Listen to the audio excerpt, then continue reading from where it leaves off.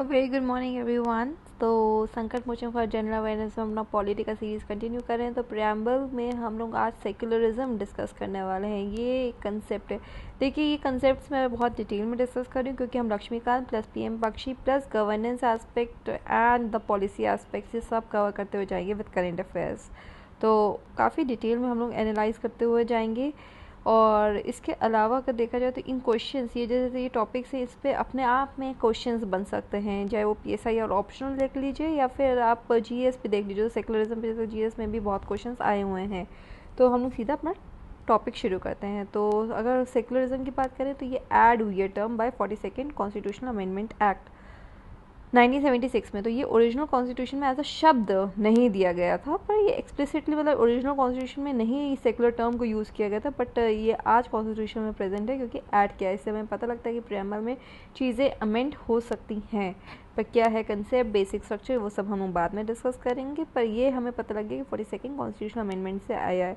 और supreme court ने भी 1976 में ये कहा कि आर्टिकल 25 टू 28 यानी हमारे जो कॉन्स्टिट्यूशनल मेकर्स हैं, उन्होंने ओरिजिनली भी ये आइडिया रखा था। It was very much clear that they wanted India to be a secular country तो दैट इज़ देयर तो यहाँ पे कॉन्स्टिट्यूशनल मेकर्स की भी यहाँ पे बात हुई है। जो इंडियन कॉन्स्टिट्यूशन है, वो एक पॉजिटिव कंसेप्ट ऑफ़ सेकुलरिज्म दिखाता है। यानी कि सारे जो रिलीजन्स है, वो हमारे कंट्री में इक्वल है और सेम स्टेटस एंजॉय करते हैं। तो it's a positive kind of a concept negative concept नहीं है। नेगेटिव कंसेप्ट अगर वेस्टर्न इकनॉमीज़ की बात करूँ, मैं तो वहाँ पे क्या होता है कि सेपरेशन वाटर टाइट कंपार्टमेंटलाइजेशन कर दिया जाता है between state and religion but India में ऐसा वाटर टाइट कंपार्टमेंटलाइजेशन नहीं है। यानी कि अगर पॉजिटिव अप्रोच के साथ, सारे रिलीजन्स का एक साथ वेलफेयर करते हुए स्टेट आगे बढ़ना चाहे तो वैसे ही चलेगा।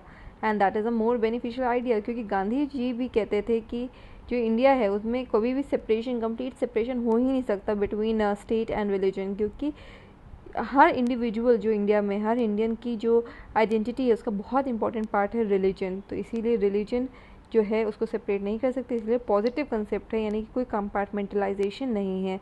और यहाँ पे एक आइडिया भी हमारा होता है that is multi cultural identity का।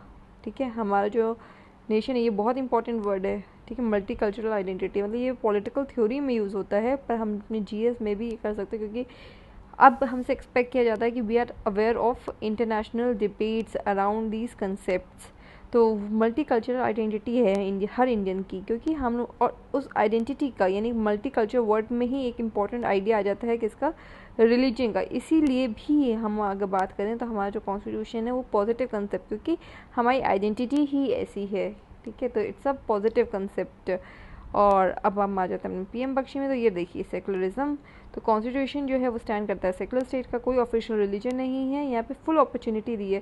देखिए इंडिविजुअल जो होता है, उसकी आइडिया जो पर्सनालिटी एस्पेक्ट है आइडेंटिटी एस्पेक्ट है, इन सब के लिए जो कंसेप्ट ज़रूरी है that is the idea of what religion ठीक है? तो इसीलिए प्रोफेस करना प्रैक्टिस करना अगर मैं कह दूँ कि अगर आपका रिलीजन है, आप उसके बारे में बिल्कुल बात नहीं कर सकते हैं बाहर प्लेटफॉर्म पे या फिर कहीं पे भी तो कहीं ना कहीं वो ज्यादती होगी। तो इसीलिए उसको रोकने के लिए ही हमें कॉन्स्टिट्यूशन में प्रोफेस करना प्रैक्टिस करना प्रोपोगेट करना any religion of their choice अपनी चॉइस का कोई भी रिलीजन आप प्रोपोगेट प्रोसेस कर सकते हैं, उसके बारे में बता सकते हैं। तो ये सारे आइडियाज़ हैं, ठीक है? और ये हमारा जो सेकुलर इसीलिए हमारा जो सेकुलरिज्म का कॉन्सेप्ट है that is positive and that is a very important point तो constitution not only guarantees a person freedom of religion and conscience but also ensures freedom for one who has no religion and uh, scrupulously restrains the state from making any discrimination on the grounds of religion तो state ये नहीं कह सकती कि भैया इस religion के ही लोग ये काम करेंगे। ऐसा कुछ नहीं कर सकती। या ये रिलीजन ऐसा ऐसा ऊपर नीचे कुछ नहीं। ये स्टेट नहीं कर सकती। पर पॉजिटिव इंटरवेंशन करना हो मतलब कि पॉजिटिव तरीके से कि सब सबका अपलिफ्टमेंट हो सारे रिलीजन का तो वो स्टेट कर सकती है। A single citizenship is assure to all person is respective of their religion तो सिंगल सिटीजनशिप का भी यहाँ पे कंसेप्ट मतलब के एक साथ लिंक हो रहा है, कोई डिस्क्रिमिनेशन नहीं है। फंडामेंटल लॉ की अगर मैं बात करूँ तो यहाँ पे ये कमेंट्री भी हमें पढ़नी है कॉन्स्टिट्यूशन को हमारा जो है वो फंडामेंटल लॉ भी कहा जाता है। तो यहाँ पे कैसे है तो गवर्नमेंट यहाँ पे अगर मैं बात करूँ तो यहाँ पे देखिए, जो गवर्नमेंट ऑर्गन्स है they own their origin to the constitution and derive क्योंकि देखिए ओरिजिनल लॉ क्यों कहते हैं? ओरिजिनल ओरिजिनल आइडिया ठीक है? या फंडामेंटल बेसिस क्योंकि जितने भी ऑर्गन्स है स्टेट के, तभी तो हमारा जो फेडरलिज्म है, अगर देखा जाए तो यहाँ पे ऐसा नहीं है कि सेंटर से स्टेट डिराइव कर रहा है, बल्कि कॉन्स्टिट्यूशन से डिराइव कर रहा है। इसलिए हमारा फेडरलिज्म भी है एक असेंशियल सेंस में तो दैट इज़ ऑल्सो देयर और फेडरलिज्म में भी अगर मैं बात करूँ तो the idea of identity identity is very much there और यहाँ पे भी हम लोग सेकुलरिज्म की बात कर सकते हैं। अब यहीं पे डिबेट आ जाएगी किसकी? यूसीसी की यूनिफॉर्म सिविल कोड की। देखिए फेडरलिज्म को मैं यहाँ से जो है फंडामेंटल लॉ ये जो डेफिनेशन है, ये हम लोग फेडरलिज्म में कवर करेंगे फेडरलिज्म टिडबिट्स में। ठीक है? तो वहाँ पे हम लोग ये कवर करेंगे। पर यहाँ पे अगर मैं आपको बात करूँ, क्योंकि हम सेकुलरिज्म डिस्कस कर रहे हैं तो यूसीसी की अगर मैं बात करूँ तो यूसीसी का आइडिया क्या है?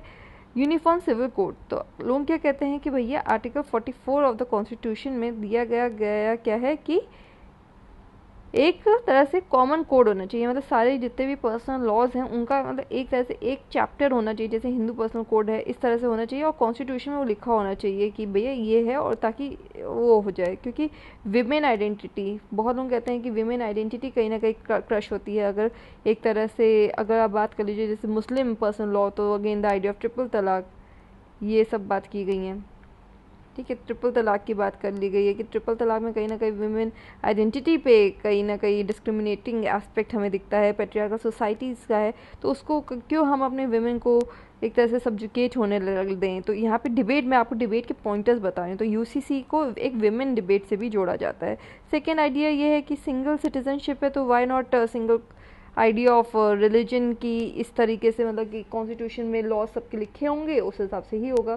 तो सिंगल सिटीजनशिप से कनेक्ट किया जाता है दैट इज़ देयर फिर इसके बाद आइडिया क्या लाते हैं कि again the idea of DPSP कि हमारे जो कॉन्स्टिट्यूशनल मेकर्स थे, वो भी यही चाहते थे, ये भी डिबेट में पॉइंट दिया जाता है। देखिए, मैं पॉइंटर्स आपको बता रही हूँ और ये समझना बहुत ज़रूरी है। लोग इस पर तीन तीन घंटे के लेक्चर्स ले रहे थे, इतना कॉम्प्लेक्स टॉपिक नहीं कॉम्प्लेक्स है डेफिनेटली कॉम्प्लेक्स है बट हर चीज़ को कॉम्प्लेक्स करके पढ़ना, अपने दिमाग को बताना, वो सही चीज़ नहीं है। ईजी करके बताइए। ताकि एक डिबेट के पॉइंट्स आपके मतलब आर्ग्यूमेंट को कैसे बिल्ड करें? दैट इज़ वेरी इंपॉर्टेंट तो यहाँ पे डीपीएसपी का पॉइंट भी हम लोगों ने ले लिया। वहीं पे अगर मैं क्रिटिसिज्म में बात करूँ, इसके अगेंस्ट में क्या बात करूँ, क्या पॉइंटर्स एग्जिस्ट करते हैं तो पॉइंटर्स ये हैं कि क्यों interference interference why is it that personal laws में हम लोग इंटरफेयर करें? क्योंकि अगर हमें कोडिफाई भी करना हो तो इंटरफेरेंस क्यों करें? ठीक है, ये क्वेश्चन उठता है। सेकंड क्या बात हो जाती है? The idea is again of freedom of religion कहीं ना कहीं वो हमारा हैम्पर हो जाएगा। जो हमारा फ्रीडम ऑफ़ रिलीजन है आर्टिकल 25 से लेकर 28 तक, वो कहीं हैम्पर ना हो जाए। तो उसकी बात की जाती है, क्योंकि हम लोग इंटरवीन कर रहे हैं तो कई स्टेट ऐसा ना कर दें कि इम्पोजिशंस हो जाएँ। तो वो वाली पॉइंट लाया जाता है। तीसरा पॉइंट क्या बात किया जाता है कि जो आइडिया है कि हाँ इंटरफेयर नहीं करना तो हारमोनी जैसे कि कॉन्स्टिट्यूशन मेकर्स ने क्या कहा था कि भैया, अभी इमीडिएटली हम लोग नहीं ला सकते हैं। क्यों? क्योंकि अभी पार्टीशन का हुआ ही है। 1947 में हमारा इंडिया का पार्टीशन हुआ है। हिंदू, मुस्लिम में काफ़ी, आपको पता है डायरेक्ट एक्शन डे से कैसे कम्युनलिज्म का हाई फॉर्म चल रहा था। तो इतना है तो हम क्यों किसी के उसमें करें? क्यों कोडिफाई करें? कहीं ऐसा ना डिस्टर्बेंस क्रिएट हो जाए। तो हारमोनी का एलिमेंट हम लोग रखते हैं। तो उस कंटेक्स में भी अगर हम बात करेंगे तो हारमोनी का ही आइडिया तो आज क्यों हम लोग इसलिए एक्सप्लिसिटली हम लोगों ने आज तक वो लेके नहीं आए थे। तो आज कहीं ना कहीं लाने से ऐसा ना हो कि हारमोनी डिस्टर्ब हो किसी भी तरीके से। तो एक कॉन्शियस मतलब कि इसका सोल्यूशन आप वे फॉरवर्ड में ये लिख सकते हैं कि कंसेंसिस कि कैसे आप इस पर कंसेंसिस बिल्ड करके ही ला सकते हैं। तो कंसेंसिस बिल्ड करना ही इंपॉर्टेंट है। एंड ये आपकी डिबेट में वे फॉरवर्ड में हो सकता है कि कंसेंसस मतलब कि सबकी सहमति के साथ आप आगे बढ़ सकते हैं। एंड तभी यहाँ पे एक तरीके से the idea of nyaya will be achieve the idea of constitutional principalities will be achieved तो ये आपके पॉइंटर्स हो गए हैं। यहाँ पे ये डिबेट भी इतने ही पॉइंट्स होते हैं दोस्तों, इतने ही पॉइंट्स होते हैं। और उसको इतना कॉम्प्लेक्स करके बता दिया जाता है। I hope this debate is very much clear because मैं यूसीसी पे एक लॉ कमीशन अभी अगर आपको पता होगा कि लॉ कमीशन जो है अभी एट प्रेजेंट जो लॉ कमीशन है, उसको यूसीसी फ्रेमवर्क को बनाने का ही काम है तो यूसीसी आएगा तो कैसे होगा या लॉ कमीशन की क्या रिपोर्ट आती है, वो सब पे डिस्कस करते हुए हम एक वीडियो तो लेके आएँगे ही, जिसमें हम इसमें with context of law commission के क्या पॉइंटर्स हैं, वो सब हम लोग डिस्कस करेंगे ही। पर अभी के लिए अगर आप देखें तो यही पॉइंटर्स के अराउंड डिबेट्स होंगी। ये तो बात पक्की है। तो यहाँ पे ये पॉइंटर्स भी क्लियर है। तो सेकुलरिज्म का हमने यहाँ पे बात कर लिया। हम लोगों ने मल्टी कल्चरल आइडेंटिटी की बात कर ली। हम लोगों ने उसको फेडरलिज्म से भी लिंक कर लिया है। और उसके अलावा अगर हम बात करेंगे हमने पीएम बख्शी में, क्या कॉन्स्टिट्यूशन के एस्पेक्ट्स हैं, उसके भी हमने डिस्कस किए हैं। एंड दैट इज़ देयर तो ये हो गया हमारा आइडिया और उसके अलावा हमने यूसीसी का पूरा डिबेट भी यहाँ पे देख लिया है। इसके पे अलग से भी वीडियो बनेगा बट येस एक जगह होनी चाहिए यहाँ पे सारी चीज़ें हो। इसके आगे हम लोग सुप्रीम कोर्ट की जजमेंट्स भी देख डिस्कस करेंगे फ्यूचर में जो सेकुलरिज्म से पर्टेन करेगी और उसको हम फेडरलिज्म से जोड़ते हुए आगे बढ़ेंगे। तो वो हम लोग आगे करेंगे। तो इसीलिए ये सारे वीडियोस आप एक साथ देखते जाइएगा। इट इज़ समथिंग इसलिए इस डिबेट में भी एक पेज आप छोड़ दीजिएगा। ठीक है? तो एक पेज क्योंकि हम लोगों को सेकुलरिज्म एक कंसेप्ट बहुत बड़ा है। तो एक पेज आप छोड़ दीजिए, उसमें मैं और कुछ पॉइंटर्स भी आपको लिखवाऊँगी। So that is there and uh, please like, share and subscribe. Sankar Mocha for general awareness.